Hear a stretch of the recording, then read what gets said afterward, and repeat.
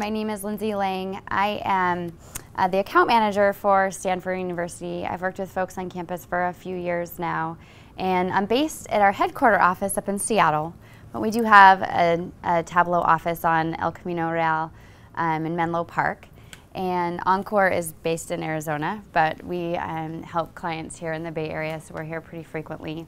And basically today, what we're going to go through is um, a quick introduction of our technology and our company and Tableau at Stanford. And then we're going to, I'll walk you through a couple examples that are out there um, to give you some context of different ways that Tableau are using, uh, people are using Tableau with their data.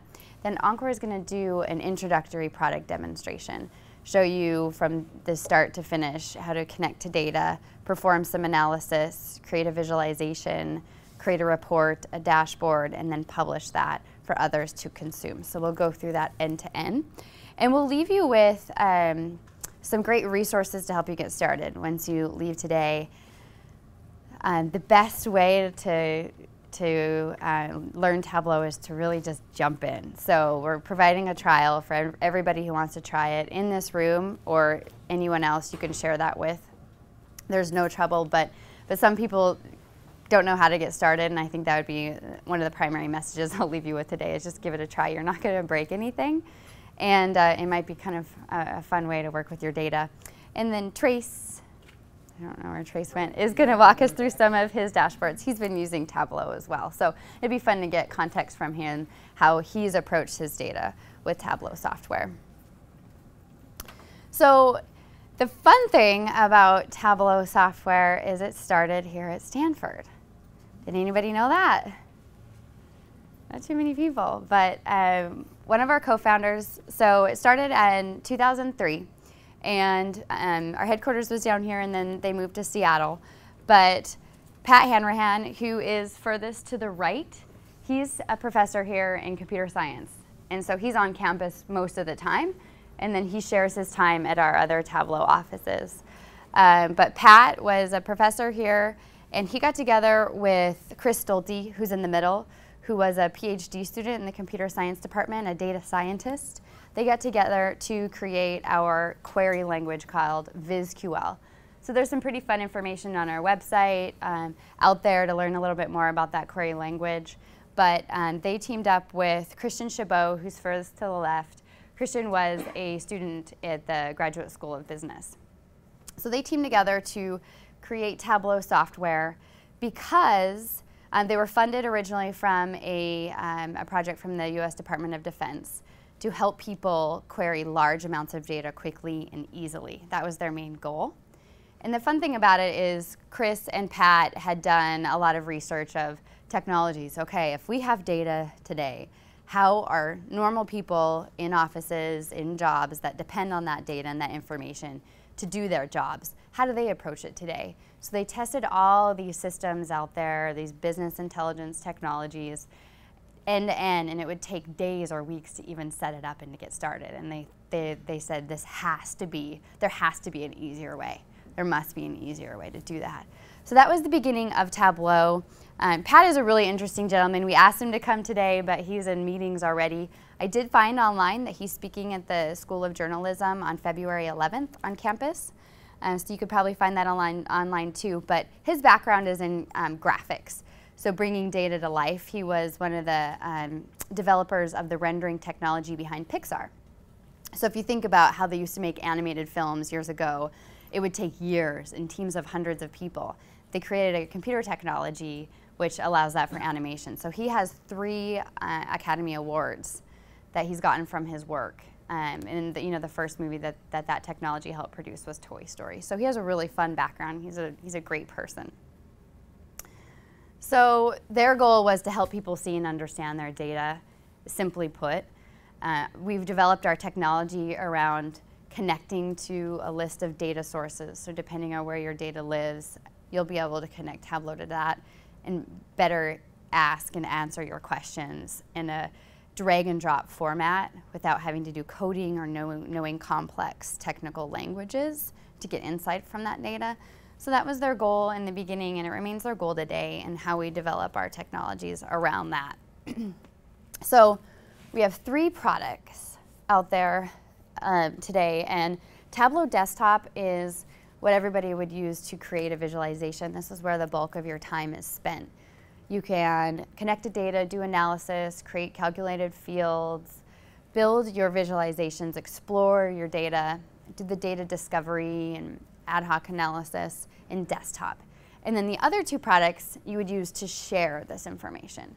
So if we want to share a dashboard um, with others in our organization or maybe it's sensitive data that you want to stay behind a firewall, you could use Tableau Server. And then Tableau Public will actually show quite a bit of examples that are posted to Tableau Public today because that's pretty relevant for people doing research. Tableau Public is free to use um, for non-sensitive data data that on the climate, data on um, politics, data on the weather, data on sports. There's um, literally hundreds of thousands of people that use Tableau Public just on their own for fun, and they publish their visualizations on their blogs. Or um, there's commercial organizations that use it for journalism. So Wall Street Journal, USA Today, I've seen visualizations a lot that are created in Tableau and shared with the general population. So it's kind of fun to think about when you look look back at information and just if you're reading the news on your phone or on your iPad and you see a graph, become really natural for us to, to click or to, to touch it and, and want to drill down and interact, at least for me anyway. And so a lot of that is built with being able to ask questions and drill down and drill up with your data. And so people are doing that with Tableau Public. And that's where I found some of the visualizations I thought would be a little bit more relevant for um, the group today versus someone that's running a business and they're doing their financial reports in Tableau, things like that. A lot of commercial organizations use it to run their business, but there's a lot of more interesting ways to view data within the research world.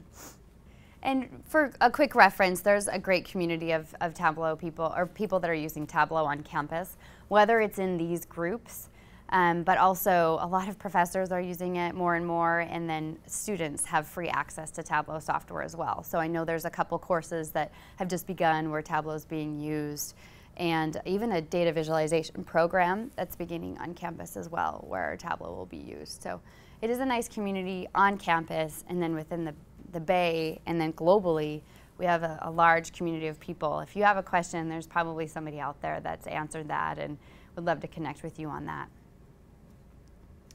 So I have, I'll jump into a couple examples right now, but it help, it'd help us for context. If you've got a data set today, what are, would some of you volunteer the programs or technologies you use to ask questions or to create a graph? Excel? Most people use Excel. Anything else? R. Okay, nice. Tableau integrates with R, um, which is I hear, you know, R is used for, for very complicated things, but I, I hear that the output, the, the, graphical presentation layer isn't quite as strong. And so people will use R and then have Tableau sit on top of that, um, which works really nice. And then a thing, same thing with, um, or close to with SPSS and SAS and things like that. So when I was looking at visualizations, um, I, I, thought of Ramon Martinez, and I've worked with Ramon um, probably for about six and a half years because he spent a lot of his time in Central America, and he was a guy that was out on site doing research for the Pan American Health Organization um, on disease control. He spent some time in Africa doing malaria research, things like that. So he was literally on his own, somehow got connected to the internet, and somehow found Tableau. And it was pretty fun to work with him because he took to it right away and it, and it blew his mind how he was able to get more from his um, health data than ever before. So I really like his blog. It's called Health Intelligence. Um, he uh, uses Tableau Public a lot. So we're gonna we're gonna reference quite a few of these examples here today. But I think he's a really good starting point. He has a great way of explaining his goals and how he's working with data. So this is a visualization that was created in Tableau Desktop, published to Tableau Public because it's all public facing data, and then he embedded it into his website. So it's all we're in a we're in Chrome right now. It's all URL driven, and this is an interactive visualization that talks about infant mortality. A little bit of a dim subject, but right away, what I can tell, which I didn't know before looking at this visualization, is in Africa that's a major outlier compared. And so he's really looking into a lot of the breakdowns of the different areas by their infant mortality. So just as a as a end user that's never quite seen this data before, naturally I just want to start clicking. So I can click on the little date filter up here in the right and I can change the date depending on what year I want to look at this data and maybe understand how it's changed. Hopefully gotten better. Yeah and then you can hover over some of the points and view the underlying details. So this is how Ramon thought it would be helpful to share some of this information with other people. On a lighter note, here's another beautiful vis visualization on diabetes worldwide. So right away I can see, we probably don't have data for these countries in Africa, but Canada is got really lower rates of diabetes compared to a lot of other countries. So this is his are really revolved around healthcare information, but if you think about it, any type of data that you have can be represented in Tableau. Another fun one is the the Scripps Institution of Oceanography in San Diego. So we started working with DataMares um, on some of their fisheries data, and they've done a really nice job of communicating that information to the public on their website. So on datamares.ucsd.edu, there's there's Tableau visualizations on most of these pages. But for example, this one is tracking mantas. So they literally have um, sensors on mantas and they're tracking the paths of where those mantas go. I think there was about 20 of them. Oh, no, track the animals. I think there was about 20 of them and they tracked them for six months. So to understand what is their, um, I guess, what are their trends within what they do and, and their behavior for these different ways. And so there's maybe there's just five of them. They named their mantas, and then the color represents the name of the manta. So you can see, here we go, Connell is moving around here, and they put this on a map. A lot of the public-facing data has geographic information. People really like to share the maps with other folks. So it's really fun to understand and take a look at some of their behavior. They have a lot of examples here on DataMares. And then the this is another one I found online, just completely different context, but out of the University of Washington, uh, they have a rowing club.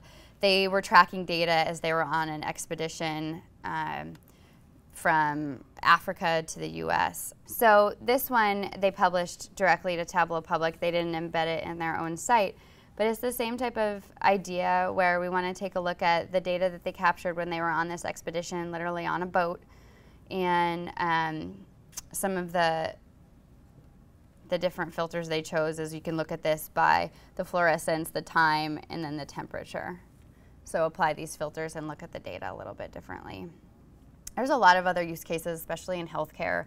Um, some, some of the other UW Medical Center in, in Seattle is using Tableau to take a basically to keep their beds empty. So what is going on in the climate and how can we keep people out of the hospital, which is really nice to think about because none of us want to be there either. And so they're taking a look at a lot of the climate data or where people live, maybe what's going on in that environment, where they live, um, disease tracking especially. Sports is a whole nother world. There's a lot of great examples out there on Tableau Public. So the website is um, it's an extension of our regular website, but it's the public facing information, right? And there's literally thousands and thousands of visualizations that you can you can just browse through the gallery and through the community to take a look at how other people have approached their data. And a lot of the time, you can download these and open them up in your own version of Tableau software and you can see how they were built. If there's something on our website or on this website that you're curious to be like, that's what I want. I want trend analysis over time um, with these types of reference lines. How do they build it? You can download it and open it locally and see exactly how they did that and try to replicate it with your data. So that's a good segue into how to get started is our website, tableau.com. There's the number one place I would recommend people get started is choose a data set and start your trial and then come watch the training. So we have a lot of different training options. A lot of times people are doing this um, maybe over the weekend, on a Sunday afternoon they want to take a look. We have training that you can access anytime. it's the on-demand training. So I'd watch this 20-minute video that just helps you kind of wrap your head around connect to data, the drag and drop interface, how to get started. And then if you want to get into more advanced topics, then you can go to, you can look at the calculations and statistics. There's some training on R integration as well. And then mapping, there's so many advanced things that you can do with mapping. So drilling in here is really nice. And then you can also sign yourself up for hour-long training courses with an instructor that's usually Tuesdays at 11. Just put that on your calendar. And then there's a lot of other nice options too, but it's good to point out that once you get started, there's some really great guidance to help you kind of wrap your head around it. Um, because it, Tableau's easy to use, but it's a new language. It's, you're learning a new way of working with data, and there can be a learning curve. Some things will come, I'm sure Chase could help us with how he approached it, but some things will come very naturally because it's somewhat similar to Excel or other technologies you've used, but then it's, it's a completely different approach. And I'd like to point out as well our community. I mentioned there is a community on campus, but there's a whole world of people that love to use Tableau rather than do their day jobs. So they are happy to answer your questions on the forum. you can literally post a question on the forum or search the forum. Most likely someone's asked that question before and then even just the World Wide Web. On Google, I use that more and more than searching our website even. Um, if I'm looking for table calculations, um, then I'll just search that on Google and there's these these will also be indexed, the, our help documentation and then partners out there that, that love spending time in Tableau. We have something called Zen Masters, which are some folks that do Ramon is, is a Zen master of Tableau software. These are folks that um, truly embody information and sharing information with other people. And um, they're happy to, they're on there all the time answering people's questions. So it's pretty fun.